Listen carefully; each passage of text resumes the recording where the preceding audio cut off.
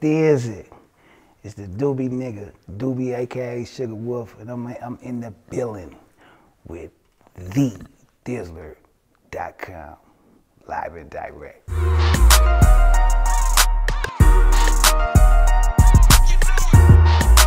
The neighborhood, the crest, FBI been on that neighborhood since, you know, the the bank robbery shit. So, you know, shit that motherfuckers was doing, you know, me myself, you know, I thought I was pretty much under the radar, you know, until the, the hammer came, you know, and once I really got my paperwork, I seen that, you know, nah, you've been the topic of discussion for a while, you know, from, you know, it was it was shit in our paperwork from the uh, FBI relaying information on what was going on with me when Dre got killed. You know, that whole investigation with the feds, they was going back to, you know, and then when I'm reading, you know, it's dudes from the hood, you know what I'm saying, that they didn't picked up. Dubee do this, Dubee do that, all of this shit. So when I got the paperwork, you know, it was bigger than what it really was. It was bigger than Miami. Miami was just what they really was using to try to get to other dudes. You know what I'm saying? Based on some part of the circle that was getting told on, you know, through people in the street. So, you know, the case really was they trying to get to other dudes through Miami. It's in the paperwork like Miami will not take us to his upstream dealers and such and such and such and such. Really, if you know Miami, Miami not you finna let you meet nobody because you're not finna cut him out of no money. You know what I'm saying? So, I mean, the, the real deal thing about that, that, that, that case, it is what it is. You know what I mean? I, I was guilty. I was doing what I was doing, you know, and it really was, you know, you know this shit come with it.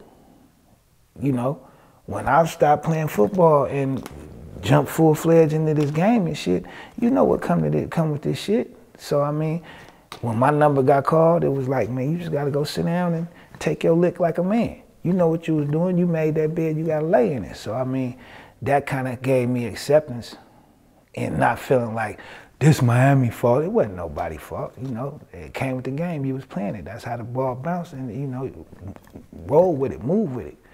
You know, so I mean, it wasn't no big thing.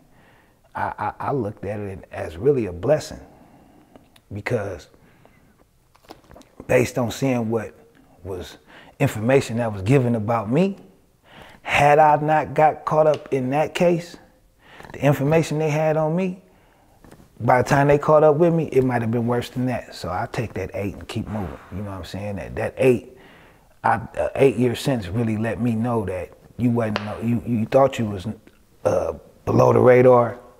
Nah, you was on one of them goddamn boards with the yarn and all the shit. Yeah, you was one of them. While you was thinking you was low key and shit, bro, they was on you. You know what I'm saying? So I mean, it was a learning experience.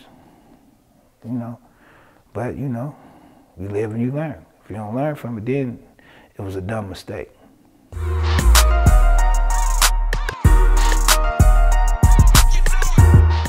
Dre got killed,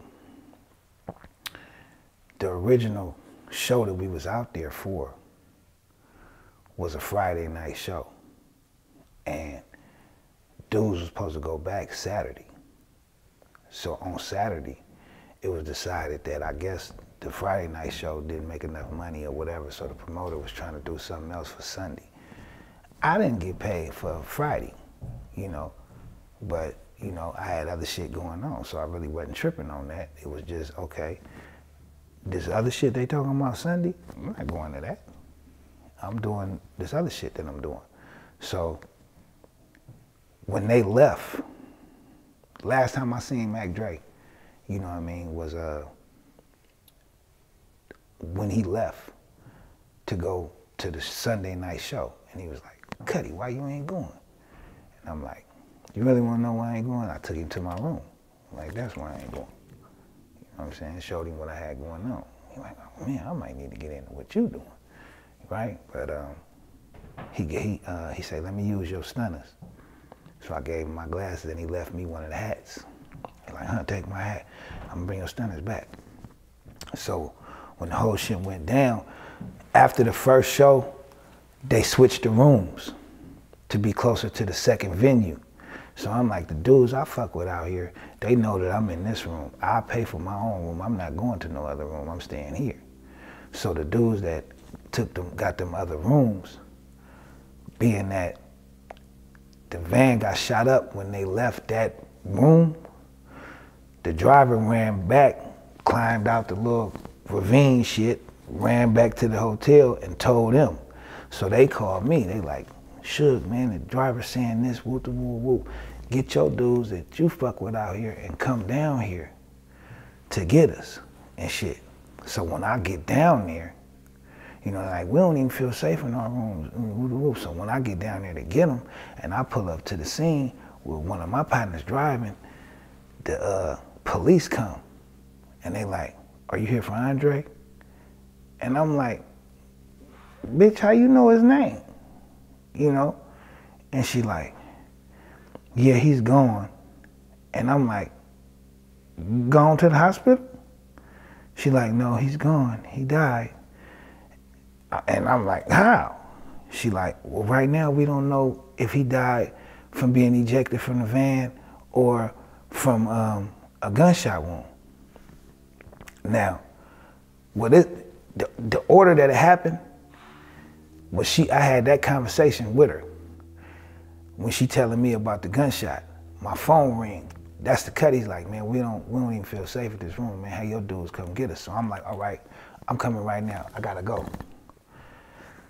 That was in our paperwork. Norton got a call at the time, and he was, he, he, he immediately left, and such and such says they played that call off like I got threatened.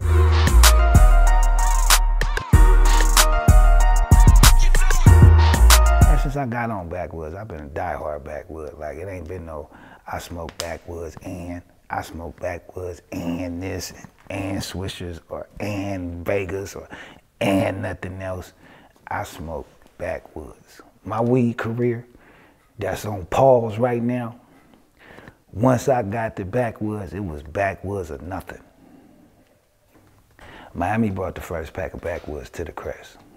Miami was at the time called herself Elegante. Went to the Super Bowl in Miami. Came back named Miami. And when he came back, we used to play uh, we used to play Madden at Irma House and smoke while we was playing. So when he come in there, he got the rest of a backwood pack. I think it was like maybe four, four to six left. And he was like, Lil Mage, huh, that's what they smoking in Miami. He threw the pack to me and me and uh, OG Cat, A-Rab, we split the pack. And the first backwoods I still was splitting them with a razor. I didn't even know how to roll them. I learned how to roll a backwood on accident. My blunt accidentally unraveled. And I'm thinking the backwood fucked up. This, oh man, I done messed it. And the more it unraveled, I'm like, oh, okay, this how you really supposed to roll it. So once I learned how to roll them, it was like, you know, little cutties, I be, you know, they'd be cutting school talking about, Suge, can you roll out blunt? You know what I'm saying? Late night, dudes got their weed, come to the block like, man, huh, roll this, man. You only want to know how to roll them. And then dudes started learning how to roll them and they took off. I remember the first time, uh, first time I gave Mac Dre a backwood. He, he was out, had the, he was in Impala. We went to a Vallejo Hogan game and we was parked. And he was like, uh, man, Cuddy, we should have got some weed before we came down. I'm like, I got some weed. I put a weed out. He grabbed a box of swishers, threw them to me, like, huh, roll up. I'm like, nigga, we don't smoke them no more. You feel me? Fresh out. We don't smoke them no more. What you talking about? But we smoked these. Put them backwoods out. He was like, what the fuck is that? From then on, backwoods. Backwoods is nothing. But I mean, the, uh, and, and, my favorite backwood, I don't a fuck with nobody say, was grape. I don't know why they stopped making grape backwoods. Grape backwoods had the most flavor out of any backwood that they had. You know, right now I'm still stuck on honeyberry, and since I can't smoke weed, I smoke the death out of plain backwood, holding in like it got weed in it. I be imagining hard as I can. For real. Cuddy be looking at me like, no, you not. I'll be like, yes, I am. I'm imagining high power faking, holding in, getting every kind of float, buzz, whatever that come with it.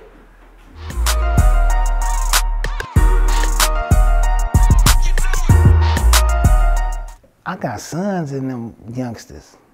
You know what I'm saying? So the the, the little Betcha gang dudes, you know, that, that's my little my son. Them, you know, that's their little thing.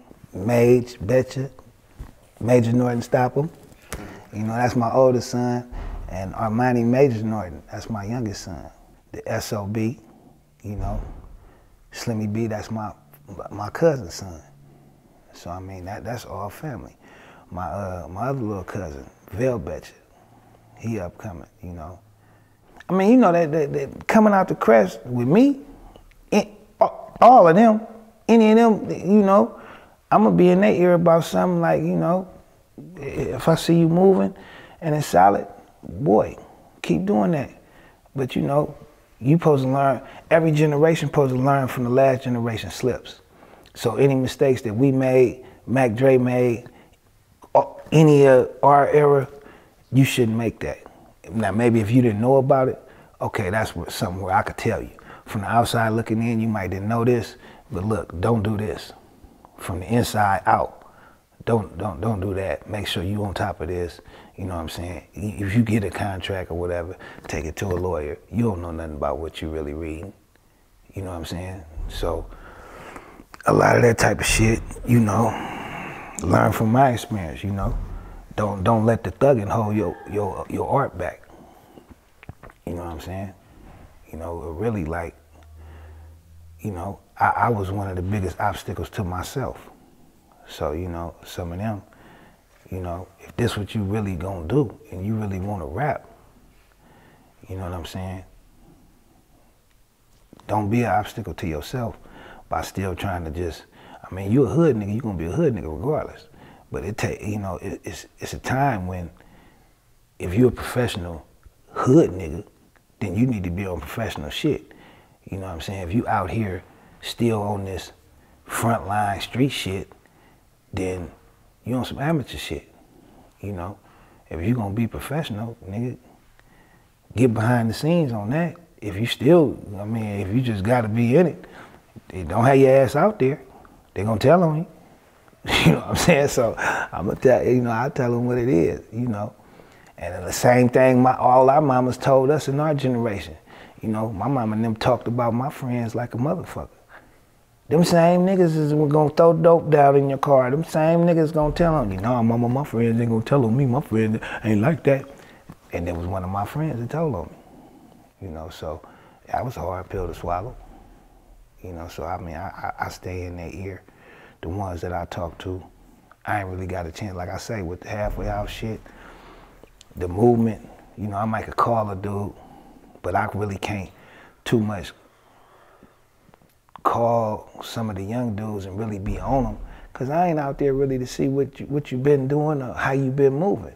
You know, I might see some YouTube videos or something, or might hear, you know, word of mouth through the streets or this and that. Now, if somebody get at me on some word of mouth, you out there running ass backwards, then, you know, I make that call tell you, like, bro, you know, tighten up. You feel me? Or, you know, shit, it's connected. Same way it used to be with me. You know, when I was young, if I was out there out of pocket, somebody gonna be in and call my daddy.